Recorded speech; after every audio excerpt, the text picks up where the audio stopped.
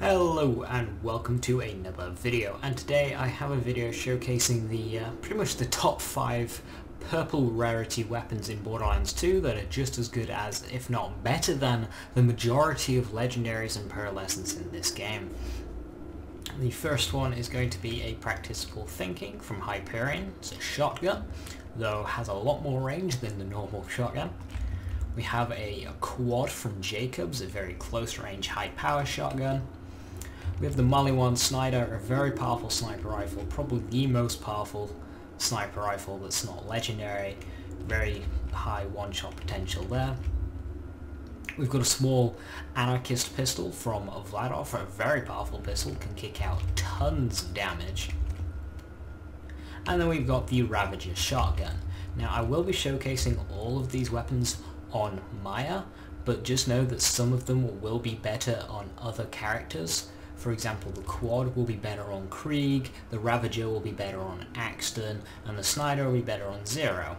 However, I thought Maya was a well-balanced character to showcase them all off so you can compare them with other weapons as well.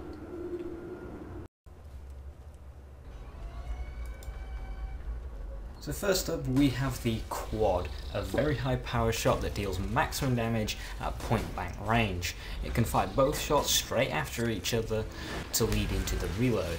This weapon needs to be used from point blank range, uh, so go with a high survivability build when using it. A Bee-shield will not help this weapon very much. A Gunzerker can offhand this weapon, put it in his left hand to gain the max money shot bonus, even though it has not got a magazine size of 12. This allows him to gain the full money shot bonus every other round fired, which is enough to go far and above damage cap. I've actually seen this one shot an OP8 Dragon. Yeah, it's that insane. Krieg can also make strong use of this weapon using Bloodlust to gain an extremely large magazine, allowing him to just spam the extremely high fire rate of this weapon without needing to reload doing extremely high DPS. Its low magazine, high damage and low accuracy also make this a prime weapon for dealing both damage and stacking anarchy stacks on Gaige. Next up, we have the Anarchist, a weapon you can obtain in the green rarity variety within the first 5 levels of the game and have it carry you. No matter what point you are in the game, no matter what rarity this thing is, it'll be powerful. The Anarchist is the closest we've got to the Double Anarchy from Borderlands 1. Lascaux is similar, but I think from the DPS of the Anarchist, that is the closest comparison, since it does extremely high DPS at close range, especially if you are hitting those critical hits on a slagged target. The Anarchist is very useful for all characters, and you should keep an eye out for it throughout the entire game, no matter what level, no matter what character, because it's always good to have. The double uh, prefix on it. I think it's Diva or something. Uh, it fires two projectiles every shot. It will lower your fire rate slightly, but it'll kick out a lot more DPS than what I've got in the gameplay here, which is a faster fire rate prefix. The only downside of the Anarchist is its ammo consumption, which of course its legendary counterpart, the Infinity Pistol, doesn't have trouble with. Though that wouldn't make me choose the Infinity Pistol over the Anarchist because the Anarchist, as they say, has a higher fire rate but if you do go with that double shot variant, the fire rate will be the same as the Infinity Pistol, but of course it's firing two projectiles, so it'll have double the DPS of the Infinity. At the cost of high ammo consumption, that is.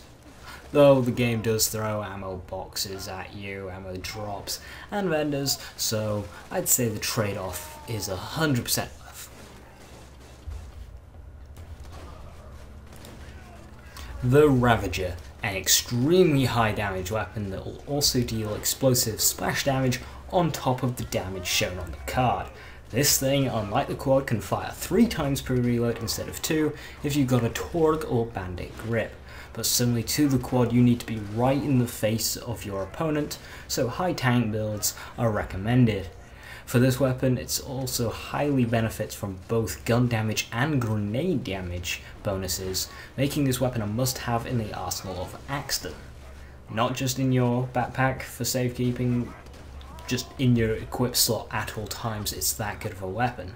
Krieg and his high mag size and fire rate bonuses also pair nicely with this weapon, counteracting the uh, major downsides of it and just making it all out explosive death for anyone too close. It works extra well against large enemies such as loaders, nomads and goliaths, and because of its splash damage the Ravager is great at dispatching the really small hard to hit enemies since they tend to have low health so the splash damage alone can take them out. Be careful though because there are a lot of bosses and mini bosses that do resist grenade damage that will lower the overall damage of the Ravager. Um, some of these are constructors, raid bosses, and just general mini bosses in general. This Snider, first thing I apologise for my poor aim, one and a half years of Xbox gaming will do that to you, but the, snipe, the Snider is an extremely powerful sniper that can outdamage even the strongest Jacob snipers for two main reasons. One, the Snider is always elemental. This allows it to gain damage bonus from elemental relics, while also catering to an enemy's weakness, the stack, effectively doubling the damage already.